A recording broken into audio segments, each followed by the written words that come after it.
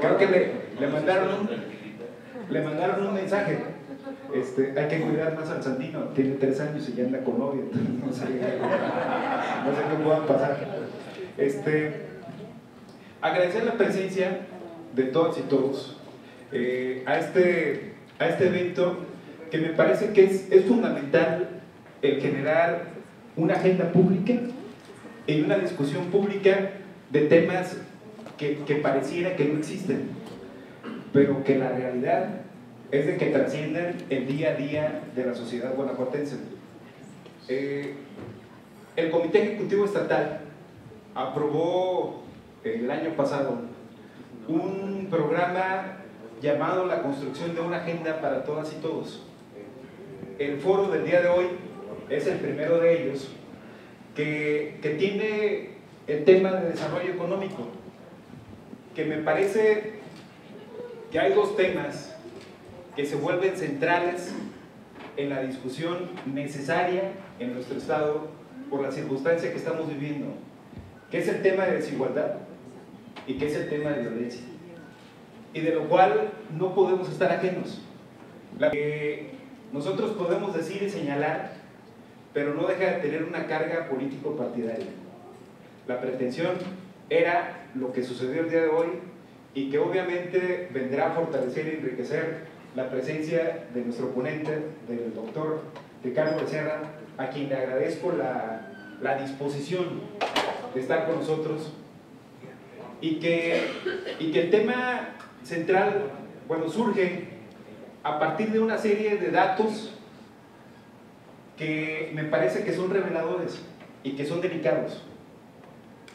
Según el, el INEGI, eh, en el 2015 el estado de Guanajuato ocupa el segundo lugar en crecimiento y solamente seguido de Querétaro.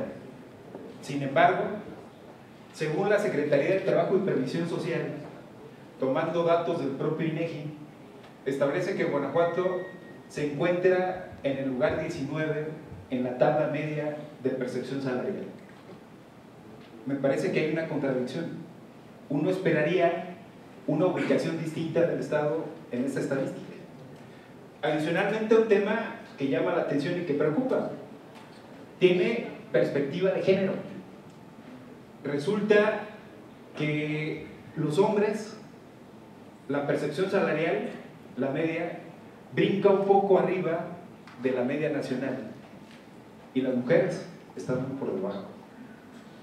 Hay una diferencia más o menos de dos mil pesos en el promedio de la tabla entre la percepción del hombre con la percepción de la mujer. Pues temas que me parecen delicados y que me parecen que son necesarios dejar en la mesa y establecer la discusión. Y, y bueno, yo solamente sería, eh, sería ocioso eh, para ustedes estar escuchando a mí cuando hay que escuchar al doctor Ricardo Serra y al igual del, del, evento, e igual que siempre, la coordinación y la, comunicación con nosotros. Gracias. Gracias a todos. todos.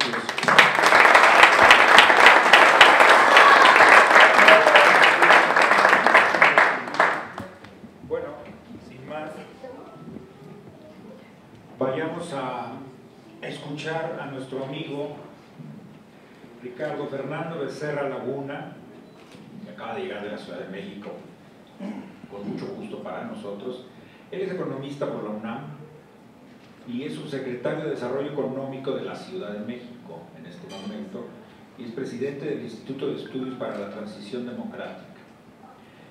Ha sido consultor eh, en la Comisión Económica para América Latina y el Caribe, la CEPAL, de las Naciones Unidas y para el Banco Mundial también fungió como responsable del proyecto de reforma al artículo sexto de la Constitución mexicana, que convierte el derecho al acceso a la información en derecho fundamental de los mexicanos y en el IFAI. Obtuvo el Premio Nacional de Periodismo y el Premio Español Ondas Iberoamericano por el guion de la serie México, Historia de su Democracia. Ha escrito innumerables artículos en cualquier cantidad de periódicos, eh, de la Ciudad de México, periódicos nacionales como El Universal, El Economista, Reforma, Uno más Uno, La Crónica, es miembro del Consejo Editorial de la revista Nexos, coautor de varios libros en materia económica, electoral, política, menciono algunos, La mecánica del cambio político en México, México y Chile, dos transiciones frente a frente, ¿Qué país nos dejó Fox? Eh, del salario mínimo al salario digno, y recientemente coordinó la primera entrega del documento para la opinión de la ciudad, ¿qué hacer si el aeropuerto se va de la ciudad? Una oportunidad para pensar nuestro futuro en la Ciudad de México. Bueno, sin más, les presento y escuchemos con mucha atención a nuestro amigo Ricardo Fernando Becerra la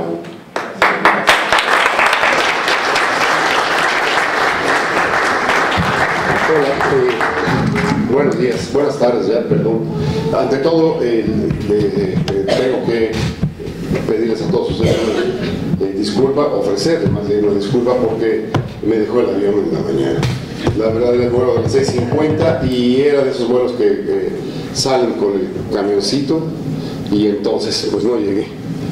Sin embargo, bueno, por fortuna había un, segundo a las 10 y estoy acá. Pues, realmente siento mucho no haber estado en la primera, en la primera mesa y, no haber escuchado a los, ponentes que seguramente habrán dicho cosas más importantes e interesantes que yo. Este, no obstante, agradezco su, su, presencia, le agradezco a tú, le agradezco al presidente, al, maestro Raya también por, a Benjamín por la atención y por la deferencia de invitarme aquí a estar con ustedes para platicar de, eh, un tema que en efecto, eh, como decía nuestro presidente, no ha estado en el lugar que debe estar, eh, es decir, en el lugar central que le corresponde como parte del acuerdo económico y social de la de la modernidad mexicana, los ingresos y los salarios de los trabajadores en el país. Eh, lo que voy a tratar de exponerles, voy a, echar mano, por eso me, levanté acá, voy a echar mano de muchas gráficas, pero nos vamos rápido, eh, es tratar de poner con datos, no voy a, no voy a argumentar nada más de guitarrazo, sino voy a tratar de describir gráficas, es decir, de colocar cifras sobre la situación del país, no hoy, sino en el largo plazo. Es decir, la, situación de México, de Guanajuato, también en comparación con la Ciudad de México, durante toda una generación. Esa es un poco la idea de, la, ponencia. Voy a tratar de, colocar el contexto nacional, internacional un poquito. En Guanajuato, una radiografía de su crecimiento y de sus ingresos. Eh, el tema del salario mínimo que voy a tratar de explicar y voy a tratar de demostrar que es muchísimo más importante de lo que habíamos querido, el salario mínimo, las tendencias nacionales y la propuesta que nosotros pensamos, es decir, nosotros desde la Ciudad de México, desde el gobierno de la Ciudad de México, eh, eh, es eh, lo que debe empezar a hacer este país para no solamente llegar a los niveles de, igualdad o de cohesión social que corresponde, sino también de mandar un mensaje de concordia entre todos los mexicanos. Bueno, me va a hacer el favor, Brenda, de ayudarme, gracias. Bueno, vamos adelante, por favor. Bien. Eh, lo, que, lo que quisiera mostrarles en esta gráfica, que llega a 2014, no, no es importante por su actualidad, sino por el largo plazo, 2006, 2007, 2008, 2009, hasta 2014, es que ustedes puedan reconocer que, eh, la, eh, que puedan reconocer la profundidad de la crisis que vivimos durante 2009. La recordarán. Porque esta crisis en 2009, puso a México en un carril de más lentitud, de menor crecimiento y en una tendencia de mayor desigualdad. Probablemente somos el país que salió de la crisis hipotecaria y financiera mundial con mayores, digamos, fuerzas desigualadoras. Lo que importa de esta gráfica es que ustedes vean todo el tiempo que perdimos como país debido a esa crisis. En el tercer trimestre de 2008 generábamos una riqueza más o menos equivalente a 12 billones de pesos. Estábamos acá, ¿no? Vino el efecto de la crisis, 1, 2, 3, 4, 5, 6, 7, 8 trimestres, es decir, dos años. Dos años tardamos en llegar al nivel de producción de riqueza que teníamos en el tercer trimestre de 2008. Dos años, digamos, con, eh, siendo más pobres y generando menos recursos, menos ingresos que dos años antes. ¿no? Y luego el crecimiento que sigue es verdaderamente marginal, muy chiquito, hasta 2014 y luego 2015. Esta, esta es el área que nos importa señalar. Perdimos dos años. Y la tendencia, lo más importante es que la tendencia que nos dejó esa crisis es de una joroba muy atenuada y de un crecimiento muy, pero muy mediocre. Según los datos, lo que tenemos nosotros en la, la Secretaría de Economía, es que México ha revisado, desde que entró Peña Nieto al gobierno, 14 veces a la baja la previsión de crecimiento. 14 veces. El gobierno, no, no, no el FMI ni el Banco Mundial, el gobierno. Por favor. Para que ustedes vean en la profundidad y, digamos el, el túnel en el que estamos históricamente. Les dije que no quería eh, darles una fotografía de lo que pasa en 2015 o 2016, ¿no? sino históricamente. Miren, esta es una eh, eh, gráfica debida al, economista Enrique Provencio, pero que muestra cómo creció este país durante los últimos, de los años 30 para acá, ¿no? 80 años. Es una perspectiva de largo plazo. ¿no? Ya Piketty ya puso de moda, espero que para bien ver las cosas a mayor plazo. ¿no? Fíjense ustedes, la peor crisis que jamás vivió en el siglo XX México fue en 1933, con la Gran Recesión. Es decir, de, después de la, de, de, la, de la crisis allá en Wall Street, etc. Pero, por fortuna, hubo un presidente, eh, eh, Cárdenas, que logró rebotar rápido y salimos de la crisis bien. Esto, lo importante son estas rayitas que están. ¿no? En 1930, con la crisis, con la gran depresión estadounidense encima y con la Segunda Guerra Mundial, aquí está la Segunda Guerra Mundial, ya en acto, ¿no? México creció 2.58%. Luego, gracias a las reformas cardenizas, al reparto de tierras, a la industrialización, a la, nacionalización petrolera, México se embarcó después en tasas de crecimiento cada 10 años, cada vez más grandes. De 40 a 50, 5.24. Esta es nuestra edad dorada, 6.31, parecíamos China.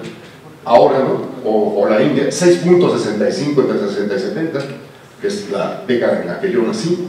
Luego 70-80 empezamos a bajar, pero teníamos una cosa bastante aceptable. Y luego viene la era, la, la era o la edad neoliberal, ¿no?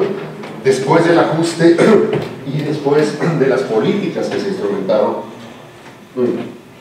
con el ajuste. Fíjense ustedes, de 80 a 90 crecimos menos que durante la década de la Gran Depresión y de la Segunda Guerra Mundial. Vean lo que nos pasó, es, es realmente terrible, es pasmoso. Luego vinieron las reformas eh, del presidente Salinas, etcétera, etcétera, Esta, este furor por la liberalización y bueno, crecimos a 2.95 porque vivimos la crisis del tequila en 1994, aquí estamos, ¿no? Un descenso de nuestra capacidad de producción de riqueza brutal, casi no, no, comparable, pero es el segundo más importante en 80 años. la crisis del tequila. Luego viene la década anterior, cierta década donde vivimos ya como, como gente adulta y estamos en 1.72 como promedio de nuestra tasa de crecimiento. En estos 10 años, es decir, los años desde el presidente Fox hasta el presidente Calderón, que le tocó la crisis financiera mundial, ¿verdad? Que fue la tercera más importante en 80 años. Sin embargo, tenemos una tasa de 1.72, la más baja para un decenio durante un siglo. No estoy seguro si, si durante la revolución, o sea, de 1910 o 1920, ahí ya no hay muchos datos que, que sean fiables, ¿no? Pero realmente lo que vivimos en la década pasada es algo de espanto, es algo muy penoso, muy vergonzoso. Y lo que llevamos acá, pues es más o menos de 2010 a 2005, para no, para no hacerlo sexenal ni politizarlo demasiado, ¿no? Digamos, los dos años de Calderón, los dos años de Calderón y lo que lleva Peña Nieto, pues llevamos 2.5% de crecimiento en promedio durante 5 años. O sea, ya es la mitad de la década, 2.5%. Es decir, una tercera parte de lo que podíamos crecer durante los 50, durante los 60 y durante los 70.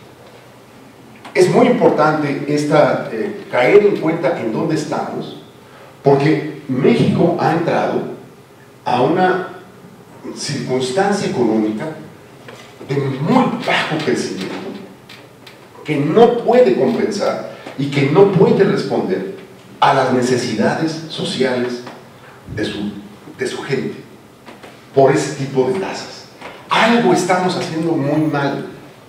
Les digo, no es el año anterior, no, no es el trimestre anterior, no es este gobernador panzón del Banco de México, ¿no? No, es, no es el otro. Es un problema que traemos arrastrando. Ahorita les voy a decir por qué, por qué eh, eh, me cae tan mal ese señor. Pero la, la, lo que llevamos en estas tres décadas, es decir, eh, es un crecimiento que es muchísimo menor a lo que pudimos hacer durante décadas anteriores. Algo estamos haciendo muy mal. Vamos allá. Bueno, todo eso está asociado a una tragedia, una tragedia realmente eh, eh, para llorar. Ustedes, si, si, reconvirtieran lo que gana un trabajador de salario mínimo, por ejemplo, hoy ahorita pregunté a la muchacha que está, que nos hace el favor de, lavar los daños aquí en, en el hotel, ella gana el salario mínimo, la señora, si, ganara, si, si estuviera en 76, en 1976, ella ganaría 270 pesos. Pero hoy gana 73. Es decir, la pérdida del poder adquisitivo del salario mínimo, que es el, salario de referencia, que es un salario básico, ¿no? ha sido del 73% de 1976 a 2016 ustedes dirían, bueno, ok, hay que, contener salarios, perfecto, tienen que entrarle todos con su cuerpo y hacer un esfuerzo, incluso los trabajadores más pobres.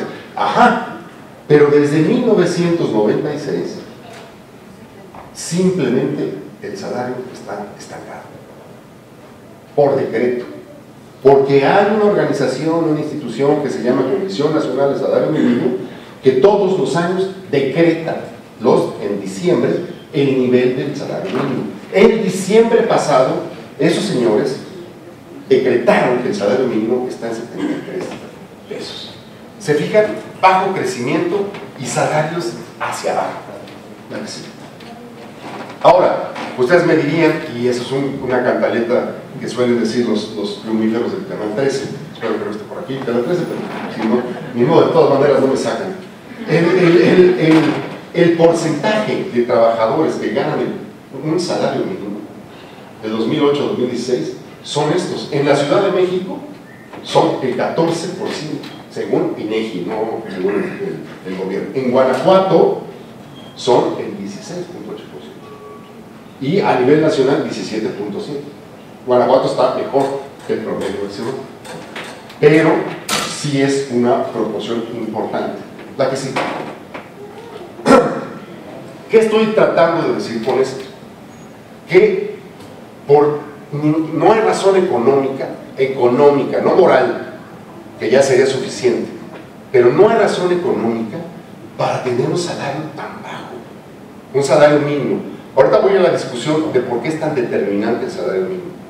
El, el salario mínimo es como una fuerza gravitatoria que jala hacia abajo al resto de los salarios. Pero vean ustedes esta, esta gráfica que presentó en enero de 2014 el presidente Obama en el Congreso de los Estados Unidos. Cuando propone el asunto. Esta es una gráfica para una vergüenza nacional. Es, así lo dijo el presidente, México el ejemplo de lo que no debe hacerse. Fíjense ustedes, todos los países de la OTAN, no, no, no, no, nos comparemos con Australia, su salario mínimo real, tampoco con Luxemburgo ni con Francia, ok, pero ¿por qué no con Irlanda? Tenemos una, una base tecnológica, Guanajuato tiene una base tecnológica más importante que Irlanda, o que, por ejemplo, eh, eh, Eslovenia, o por ejemplo Grecia, o España. No, México está en el sótano mundial del salario.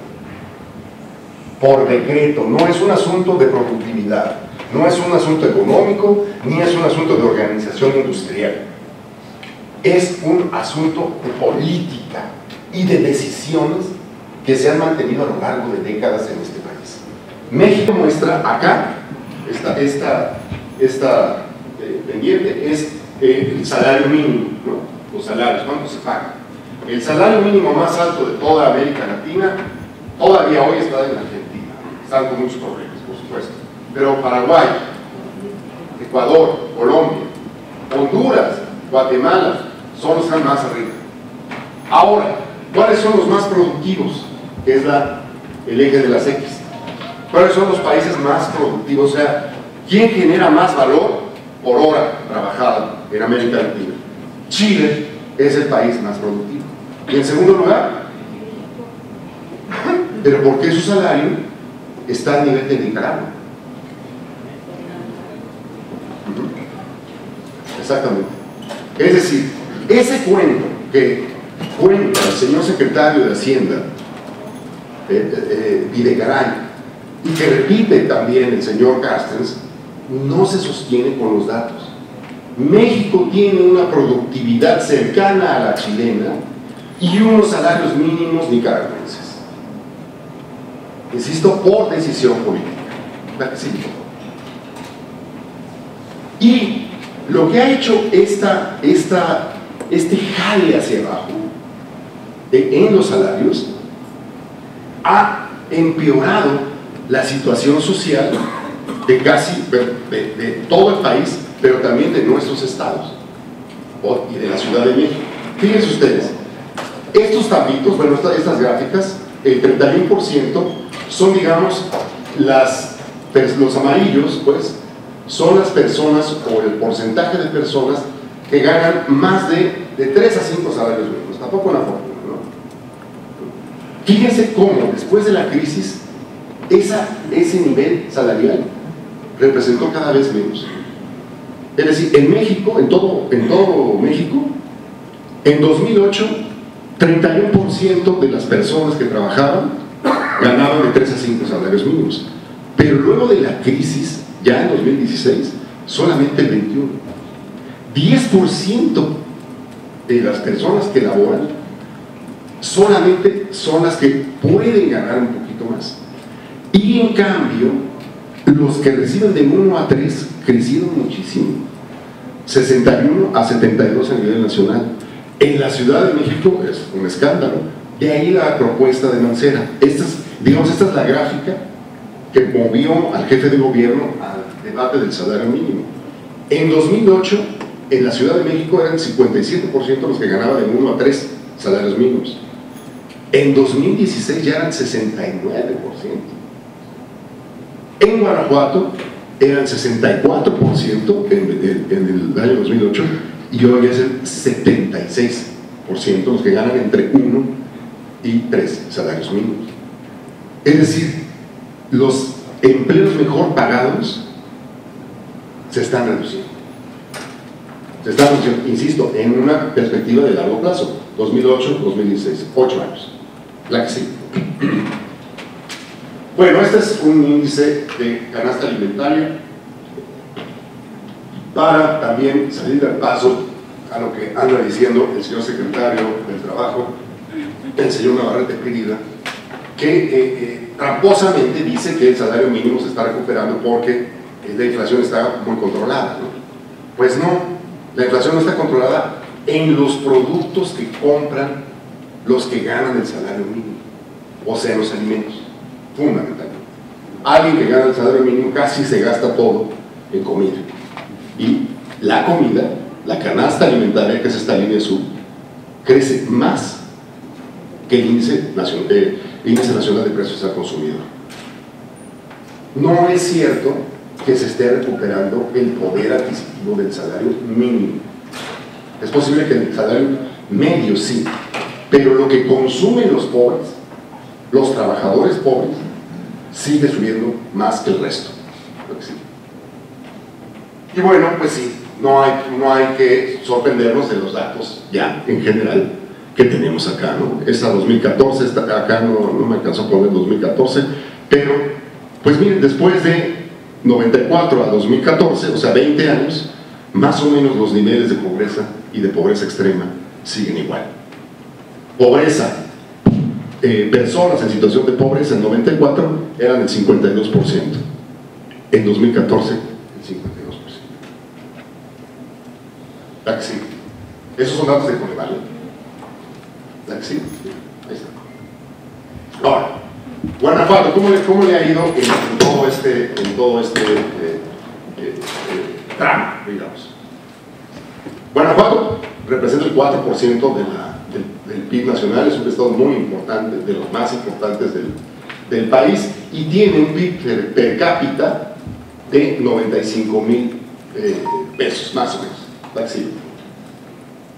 Y tiene además este desempeño en azul casi siempre más sobresaliente que el nacional.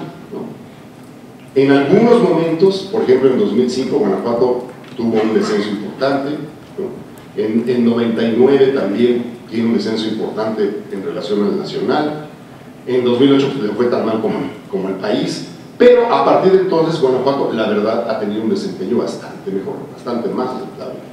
6.5 frente al 2.5 nacional, de 2010 a 2015. Es decir, hay, sí hay una actividad económica importante en este estado, de las más importantes del país. Vamos a ver la siguiente. Por ejemplo, en el empleo formal por entidad, Guanajuato es el sexto lugar, generando el año pasado 33.740 empleos formales. Estos son datos del de, de, Claro, la Ciudad de México generó 110.000, pero pues allá somos, un, somos 8 millones. En relación a la a 9 millones, perdón, en relación a la población es muy importante la generación de empleo que hay aquí en Guanajuato. Está solamente abajo de Baja California, de Chihuahua, que es toda una sorpresa, del Estado de México, que también no, no tiene mucho punto de comparación porque es demasiado grande, Nuevo León y Jalisco. Jalisco, Nuevo León, Chihuahua, Baja California, Guanajuato sí son bastante, bastante comparables en, en, en, términos, en términos generales. O sea, Guanajuato sí tiene una, eh, sí, sí, ha estructurado ya una economía una, y un crecimiento muy importante, tanto a nivel de generación de riqueza, como generación de empleo. Pero el índice de la pobreza eh, eh, laboral en Guanajuato también es mejor. Esto quiere, estas, esta gráfica quiere decir que Guanajuato tiene menos trabajadores pobres que, por ejemplo, a nivel nacional y que la Ciudad de México.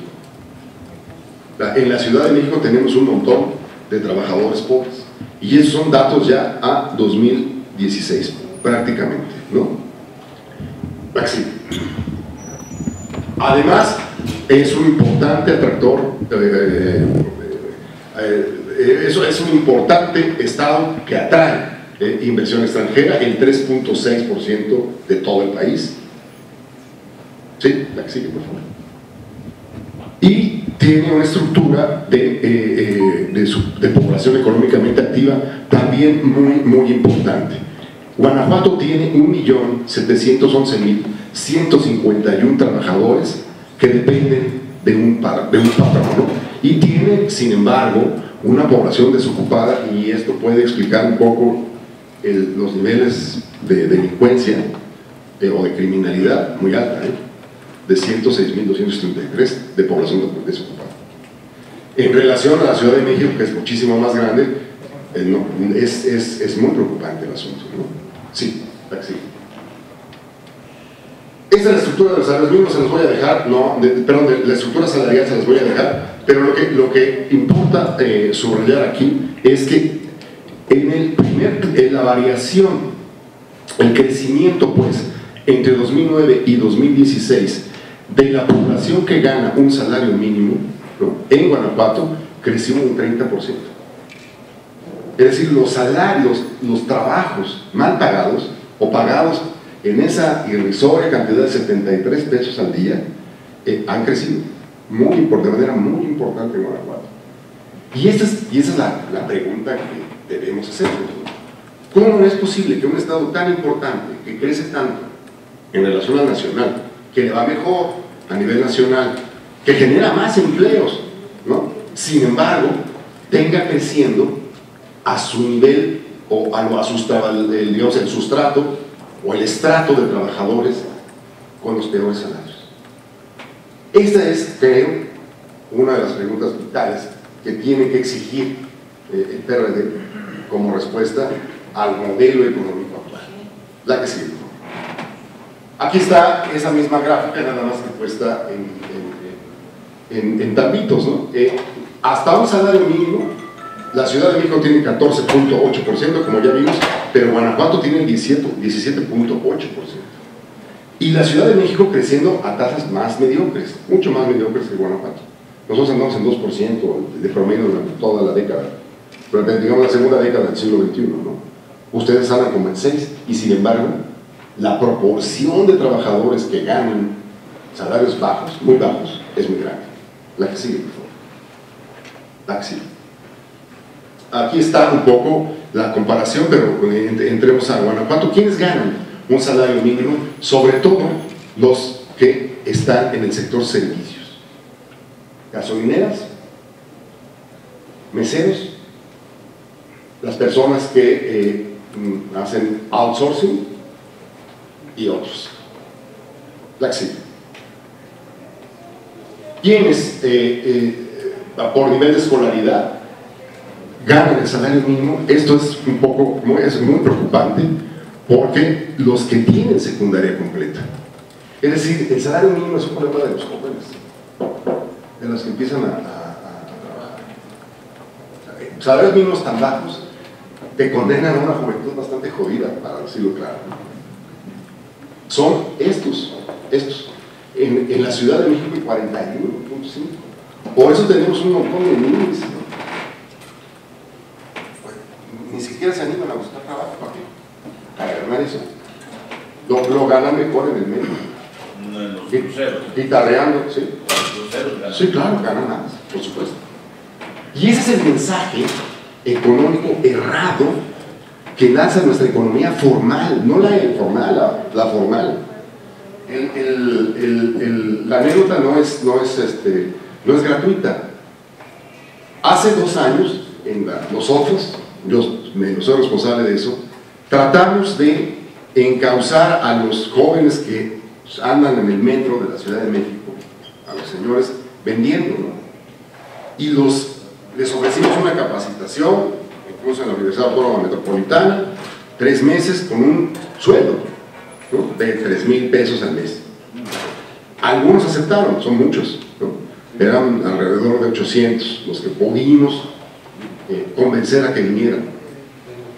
Sobre todo los, los invidentes, o sea, los ciegos, eh, estaban más o menos entusiasmados.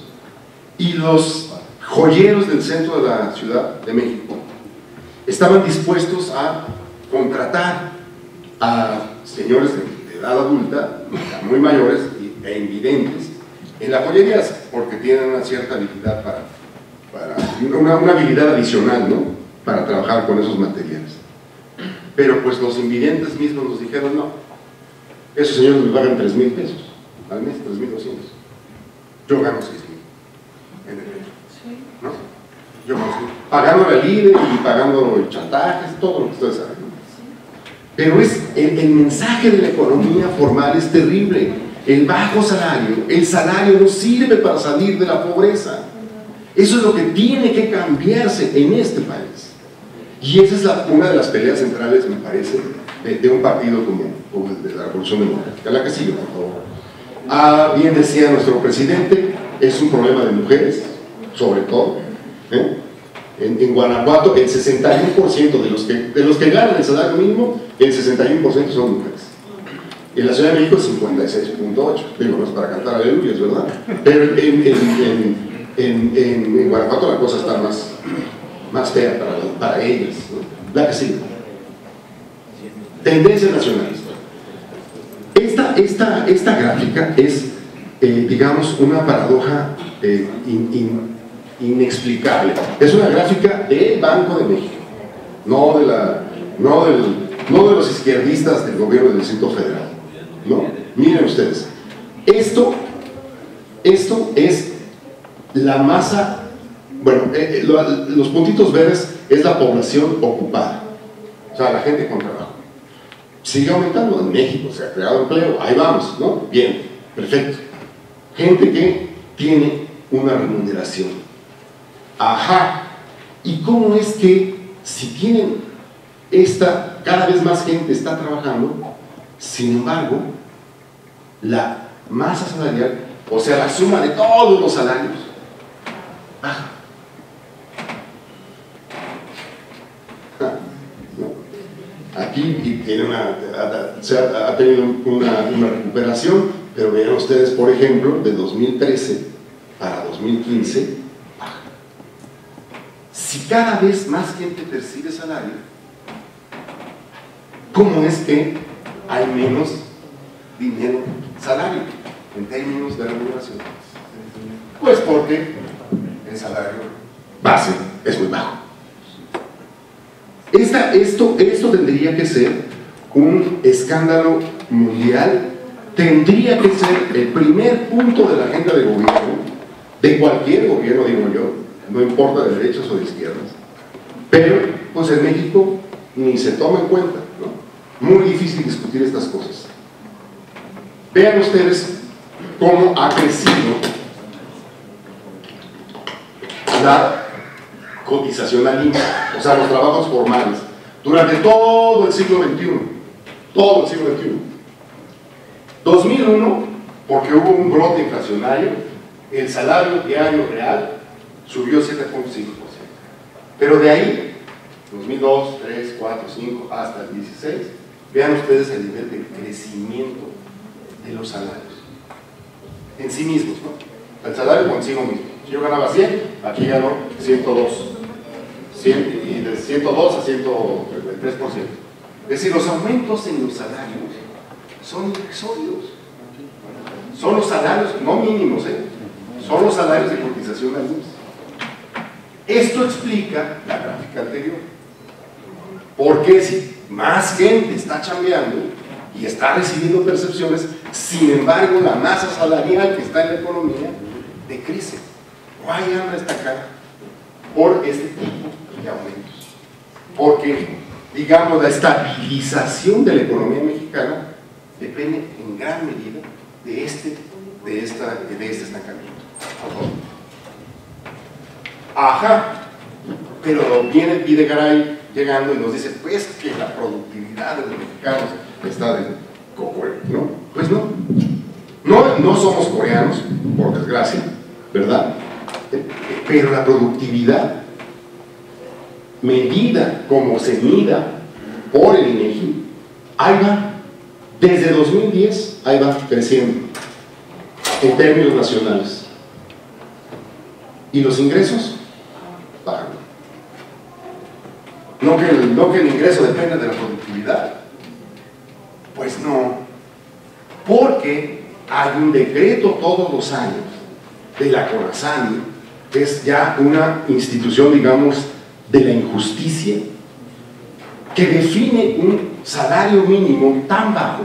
Lo que nosotros eh, hemos querido poner a debate y que hemos querido explicar es que no hay una economía que pueda aspirar a crecer con niveles salariales y con contenciones a los salarios de esta magnitud. No estamos locos.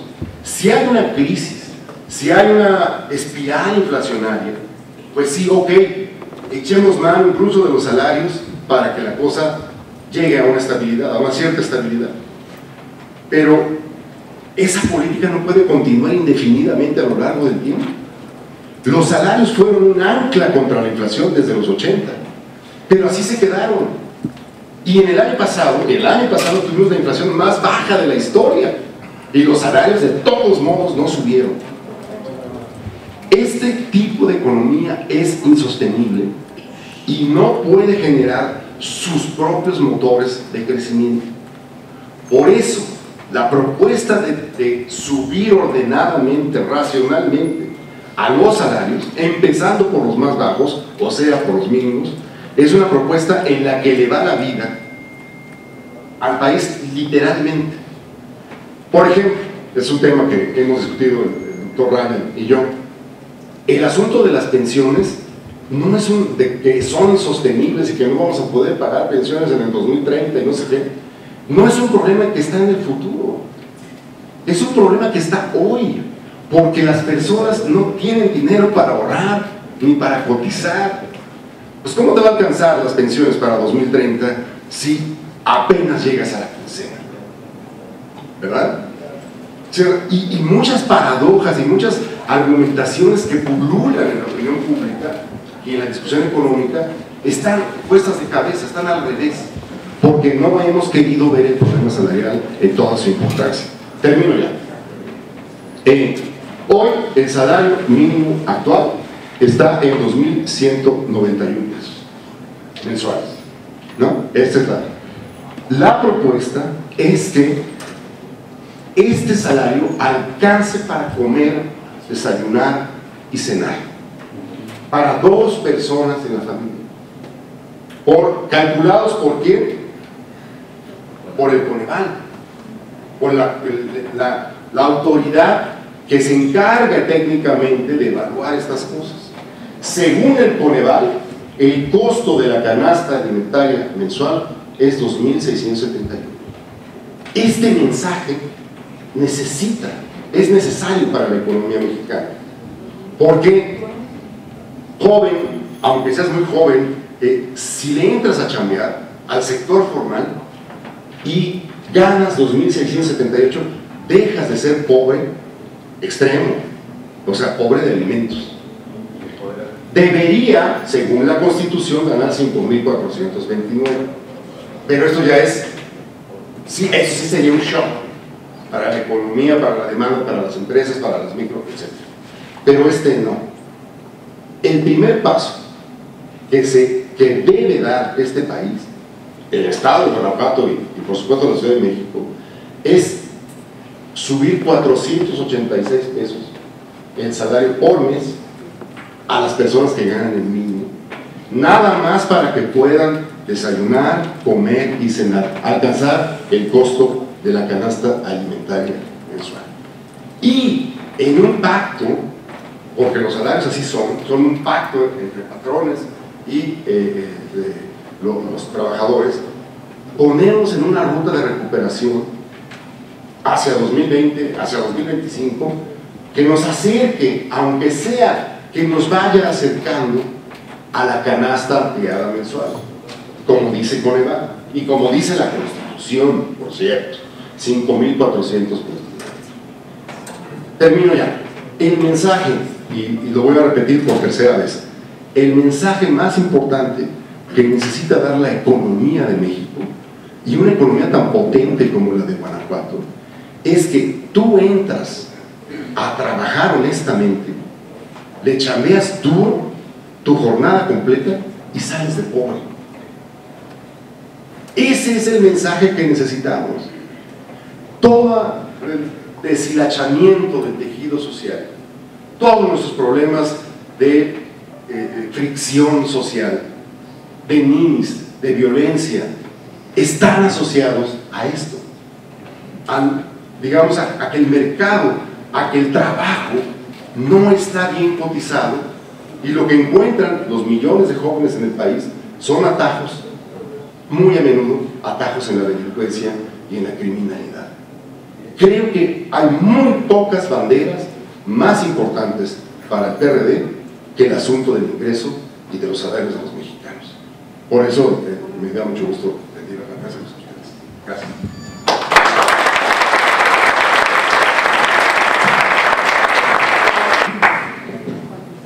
Ha sido contundente Ricardo, así es que eh, no creo que queden muchas dudas.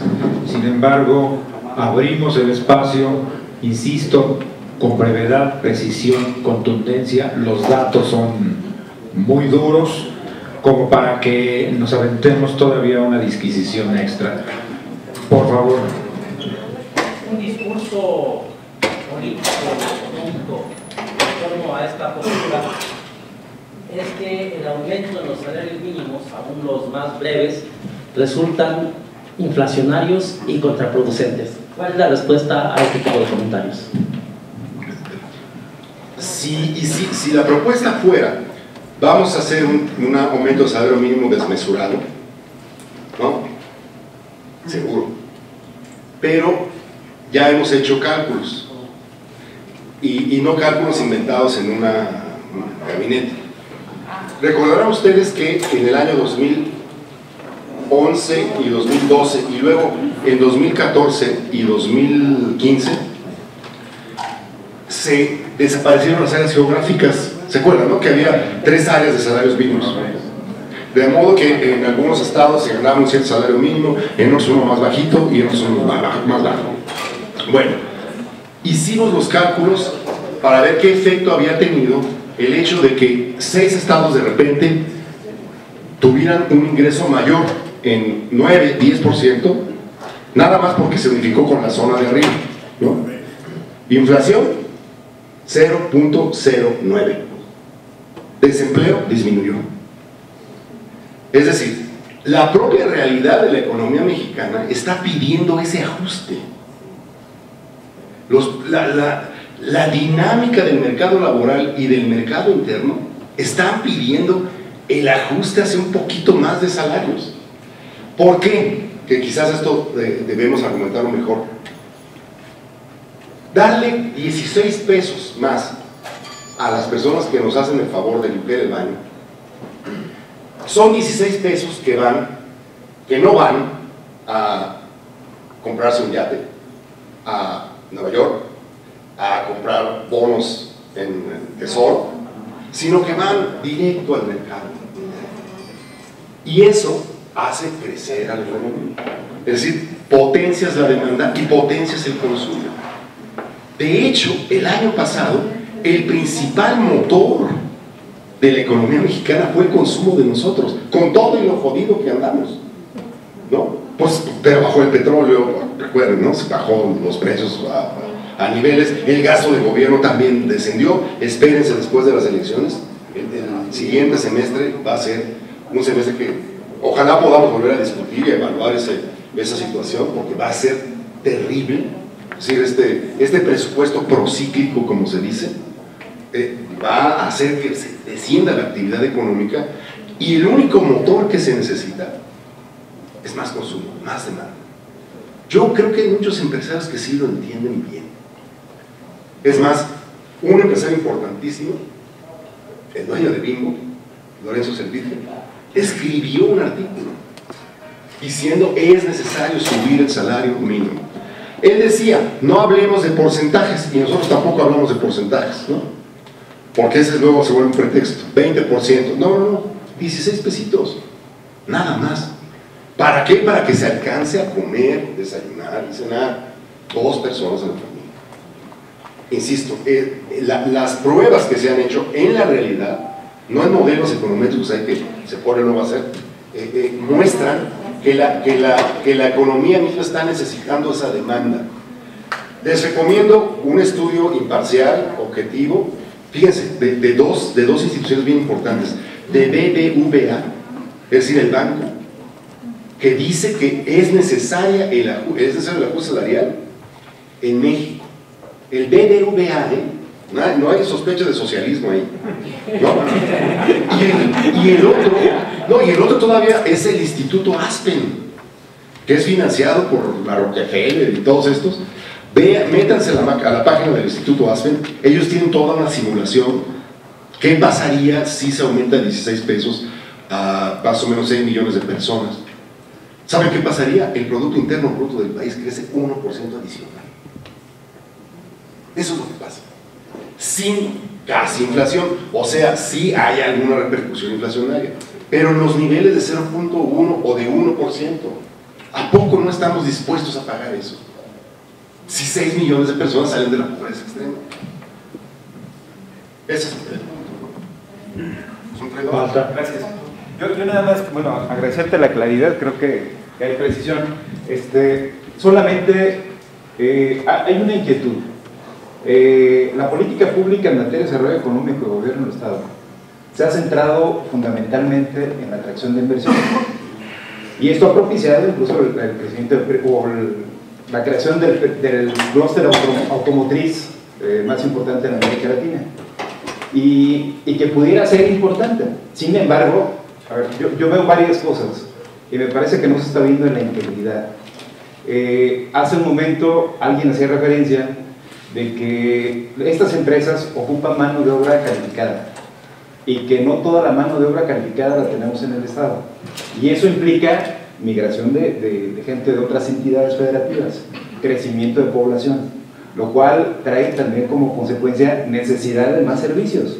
Y que me, me- me llamaba la atención, trataré de ser lo más breve posible porque ya vi la cara de Arturo. Este, me llamaba la atención, hace, hace un par de semanas eh, recibí no más de tres o cuatro llamadas eh, respecto de deficiencias de atención médica en la ciudad de Celaya y que hasta donde yo tengo entendido hay riesgo de colapso en el sistema de, de- de salud. Y, y bueno, adicionalmente a ello, la inquietud, hay experiencias, hay experiencias internacionales donde si a la vuelta de la esquina eh, sufre alguna crisis el, este, el sector automotriz, ¿qué, qué va a pasar? Entonces, me parece que, que hace falta el voltear al mercado interno, el, fortalecimiento de, la micro, pequeña, mediana empresa y obviamente el campo que está, lo, dejaría más bien como inquietud y, Bueno, eh, yo, yo ah, en, Guanajuato, precisamente por el desarrollo automotriz, yo re- reivindicaría ni más ni menos que el señor Ford. Es decir, el señor Ford aumentó los sueldos de sus trabajadores para que le compraran coches. Y así creció una fortuna, y así hizo su fortuna, no al revés.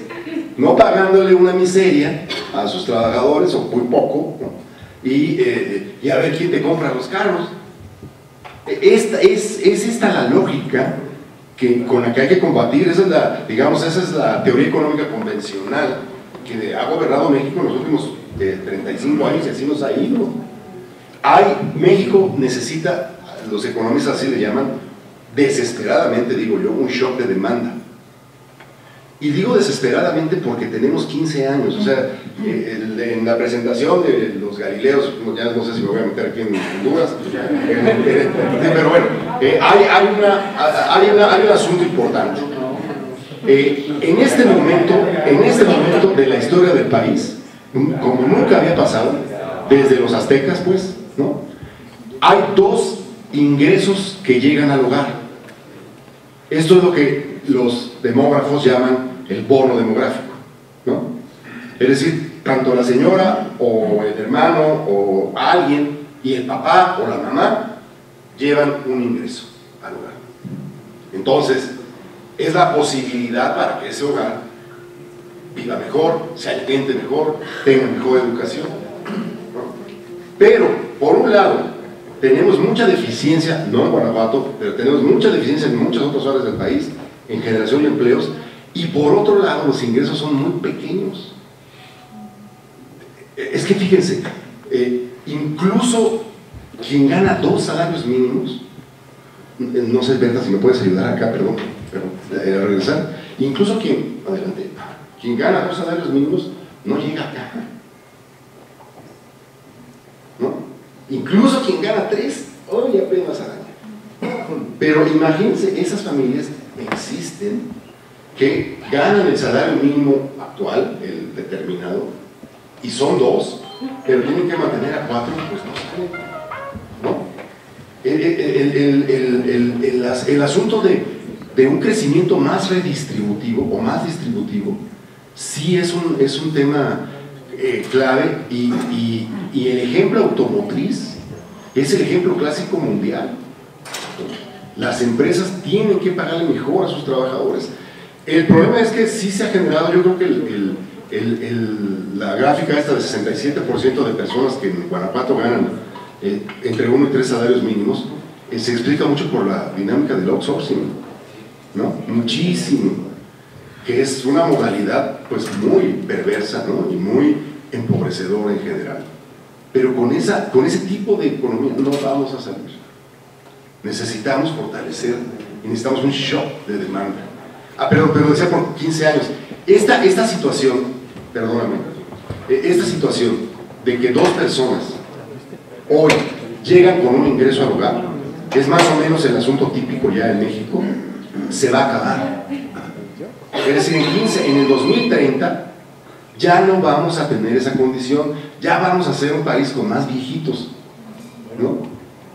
Que ya no van a poder trabajar y ya no van a poder traer el ingreso. Los que fueron jóvenes y estuvieron en edad de trabajar tampoco ahorraron.